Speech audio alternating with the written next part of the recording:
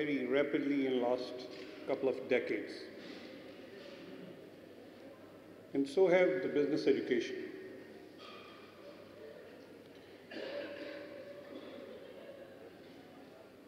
Not just around the globe, but also in Pakistan.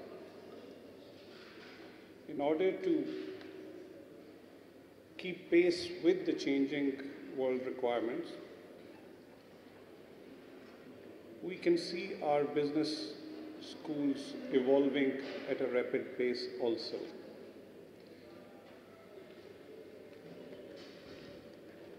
If we see a long list of new initiatives being taken, new programs being faced, new curriculum developed, we can say that the effort of the Pakistan business schools has been at par with the rest.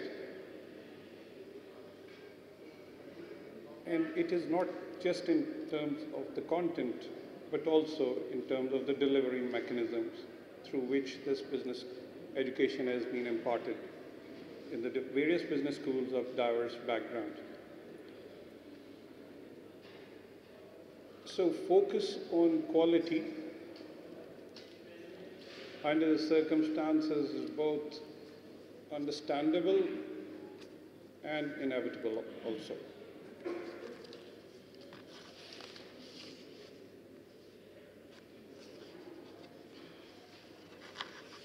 We, in our seventh chapter of Deans and Director Conference, have come a long way. In the previous conferences, we have established this forum as one of the main platform through which we have made considerable progress. We have not just discussed and deliberated upon the problem, the issues, but we have also come up with concrete solutions through which the quality of business education has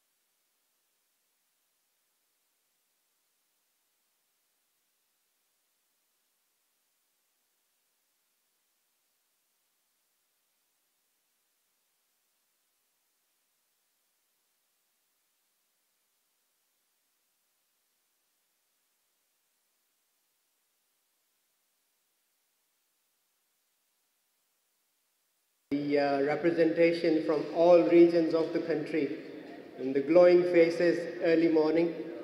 I'm also thankful to our founder, chairman, Dr. Mukhtar Ahmed Saab, for sparing his time and his busy schedule to be here. And I must also remember the contributions of our late chairman, Dr. Hassan Murad Saab. May Allah rest his soul in peace. We are taking his vision further and further under the able leadership of current chairman and vice chairman and all the support from the business schools of the country. I now take the opportunity to thank all our sponsors. Every year the interest is increasing. So please join me to give a huge round of applause to our sponsors.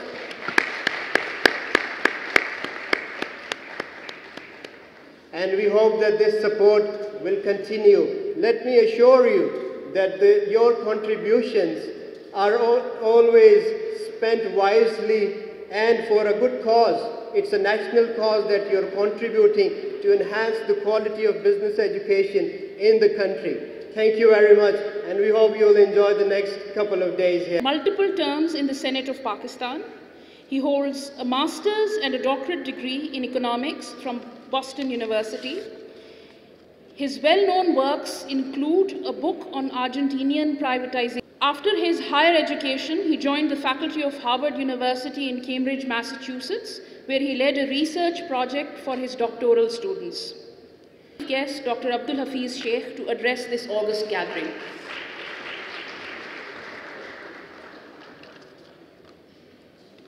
Bismillah Dr. Farooq Iqbal Sahab, Nokhez Sahab, distinguished guests, uh, deans, professors, colleagues, Assalamu alaikum. I'm delighted to be here. It's a very important um, seminar, and uh, I think uh, it's meeting at the right time. This is a critical time in many respects, and the economy is just coming out of a crisis. Uh, there is a platform of stabilization, and I think we have to understand how business education its quality enhancement, and the graduates coming out of our business schools can contribute towards taking this country forward. Secondly, the global economy is soft, and we have to try harder, whether to promote exports, whether to create new markets, or whether to build new alliances. Third, I feel that business education has lost its prestige in some ways. And we have to find a way to make business graduates and business education more relevant to the changing times. Fourth, I believe there is a sort of a culture of education or business education in which the focus has been on mass production of degrees, whether BBAs, MBAs, MCOMs, while at the same time quality may not have increased and relevance may not have been the dominant consideration. So we need also to think how to correct that imbalance. There are two historical failures of this country which we also should keep into mind. The first is, since its birth, Pakistan has not done a very good job of creating its exports. It has not done a very good job of trying to attract foreign investment. And we have to see whether our business education is a factor as to why we are unable to penetrate international markets and why our business groups and private sector uh, houses have not really been very effective. And maybe there is a need to incorporate that as we look towards the future. Another point is that this is supposedly a digital age, global connectivity has been high. People talk of buzzwords like artificial intelligence and all that. Pakistan cannot miss this opportunity as we may have missed many other opportunities in the past. So we really also should use this time to see how we can actually galvanize or mobilize ourselves that this important revolution doesn't pass us by. We also have to think that how can we anticipate future jobs? According to the World Economic Forum, 65% of kids now going to school will end up doing jobs that don't exist now. So what sort of jobs will these be? How can we anticipate them? How can we tailor our business education to fulfill these requirements of the future? We also have to see that why 40% of our women graduates do not get into the jobs mainstream. If we are to improve our national productivity, which is a prerequisite for attaining our full potential, then this has to be remedied. And so we have to think in terms, when we talk of inclusivity, of gender inclusivity as a dominant consideration. And finally, I, the context I want to highlight is that as uh, Dr. Farooq Iqbal said, only 22 universities are accredited in his scheme. So that is a pretty uh, pathetic number because we are 220 million people and that means one accredited business school per 10 million people of this country. So we also have to figure out how are we going to raise this number manyfold without, of course, compromising on the quality. Now, let's start by asking a few questions. Okay. The first is on inclusivity. What does it mean when we talk about inclusivity here? I think it should include all those uh, stakeholders, all those segments which have the potential to participate but are somehow being denied the opportunity to participate. This could include our people from the rural areas, it could include people from our non-English medium uh, systems of education, it could mean people who are smart but are underprepared. It could mean people who are intelligent but have less money. It could mean people who are ready to play their part but a barrier is coming in the way. So we have to think about how to actually go about including them in this national mainstream. How might that happen? Well, we can think in terms of need-based scholarships. We can think in terms of feeder schools and colleges. We can think in terms of preparatory programs. We can think in terms of remedial courses in English and mathematics and statistics. We can think in terms of incentives to the private sector. We can think in terms of internships for this purpose. And we can think in terms of hybrid methods of teaching involving technologies to reach larger groups of people. And of course, I'm sure you will. What should the government do? Well, the government is trying with its limited resources to do like the National Incubation Program, which five of these you know, units have been set up in collaboration with the private sector, LUMS and Jazz and Fatima and so on. And 200 startups have been done. We are also initiating a Kamyab Jawan program, which is a way to bring scholarships and entrepreneurial talent up by giving them interest at subsidized rates. We are also, this is a 100 billion rupees program. And of course, the HEC is being financed to do a variety of programs. But one can do much more, and I'm happy to discuss those. In terms of the education itself, we have to say, how can we make it relevant? So one of the things that is a um, problem in this country is low government efficiency. So if you can somehow tailor or uh, include considerations of how to prepare graduates in business school who can improve the efficiency of the government, whether it's the finance ministry, the planning ministry, the Ministry of Economic Affairs, uh, and of course, a lot of the state-owned enterprises. We also have to think in terms of going back to the fundamental question. No country in the world has really risen. No country in the world has brought prosperity to its people on its own. So we have to find a way to remedy this by improving the quality of our private sector to generate exports. And this government is committed to that policy. We are giving subsidy to the exporters on gas, on electricity, on loans, and we have zero taxes on exports. So after a five-year period of stagnation, we are seeing some growth. But in order for that to be sustained, the whole ecosystem of the private sector has to be geared towards promotion of exports, for building up relationships. And I think the business schools and the business uh, school leaders have to think about how to incorporate that.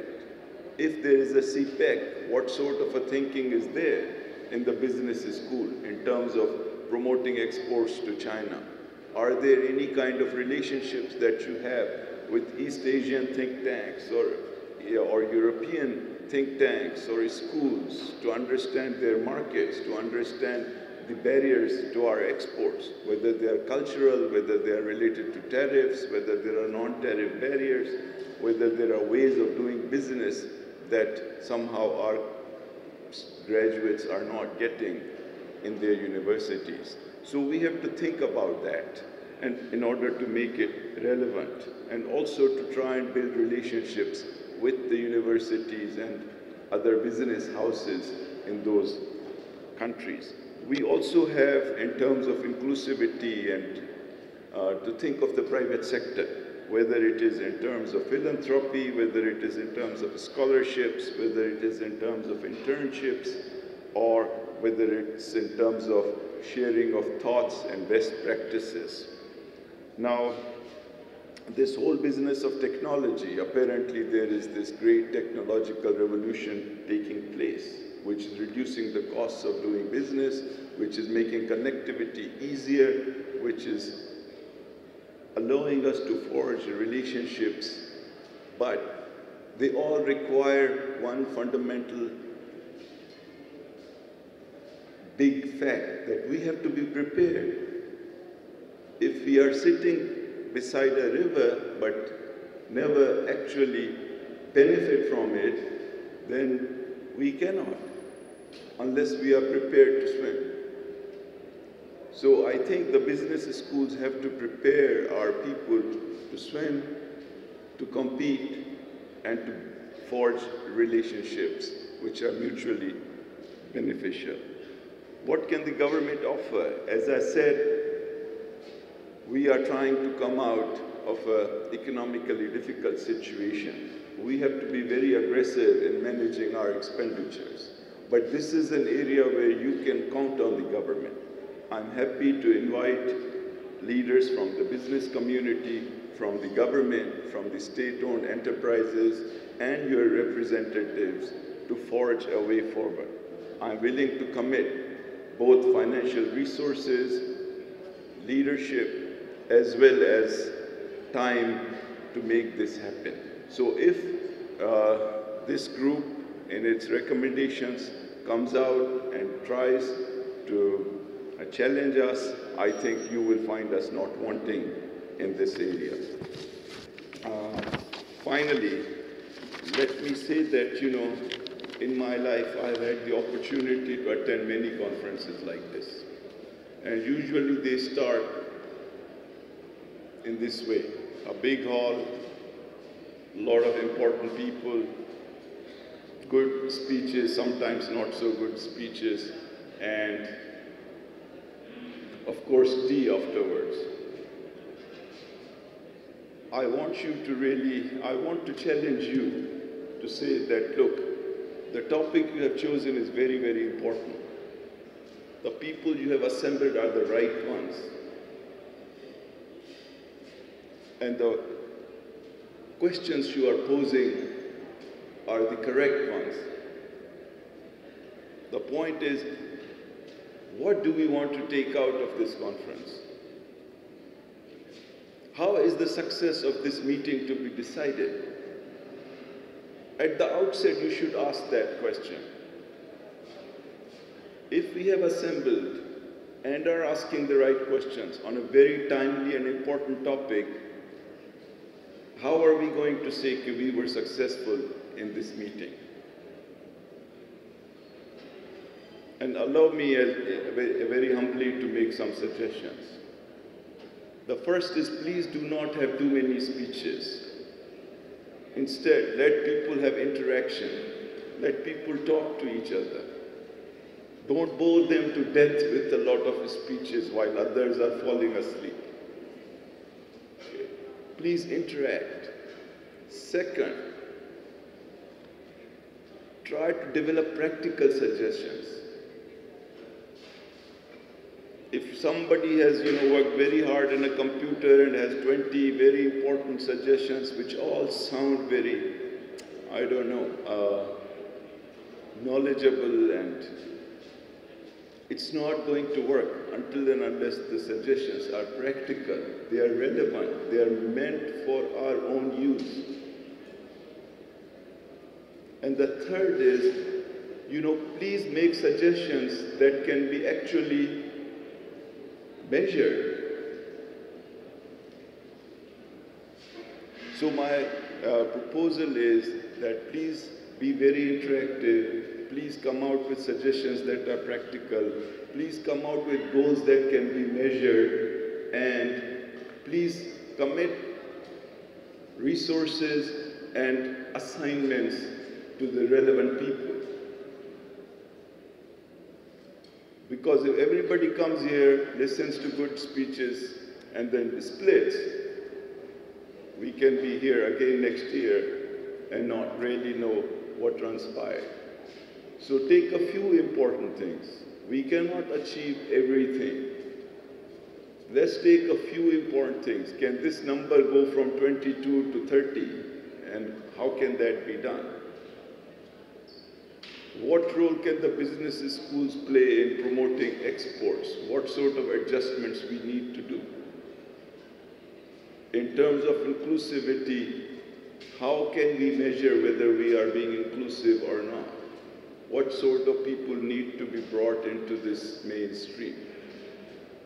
So you focus on quality, you focus on additionality or incrementality in inclusiveness, and you focus on one or two big national goals. And you try to be very practical, very simple. You know, one of the difficulties I had in this conference is I was having a hard time figuring out what it's all about. So please try and be simple so ordinary folks like government ministers and other stakeholders can also understand what's going on. Because, you know, I was like nervous coming here to all these big shot professors and deans and then not knowing exactly what it's all about. It was Dr. Iqbal who said, you know, please don't be nervous, Hafiz, it's going to be okay, just come and, you know. He kind of help me figure out what it's all about. So with all that, uh, good luck. Uh, thank you for inviting me and giving me the opportunity to interact. Thank you. Mr. Anas Abdul Hadi.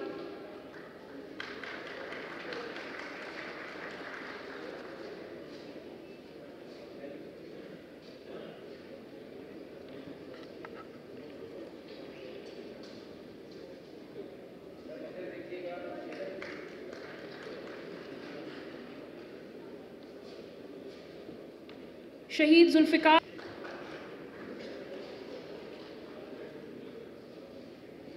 Institute of Business Institute of Business Management, Karachi, Platinum sponsor.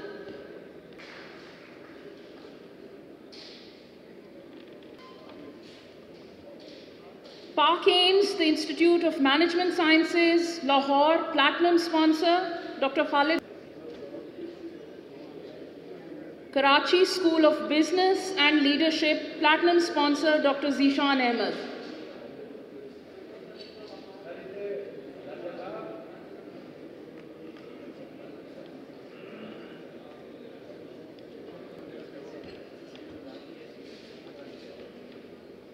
The Institute of Chartered Accountant- Accountants of Pakistan, Platinum sponsor, Mr. Jafar Hussain.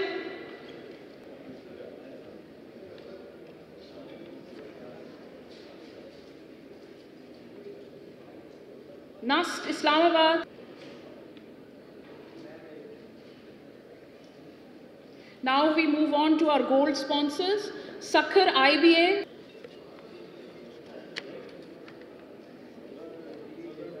University of Management and Technology Lahore, gold sponsors, Dr. Muhammad Aslam.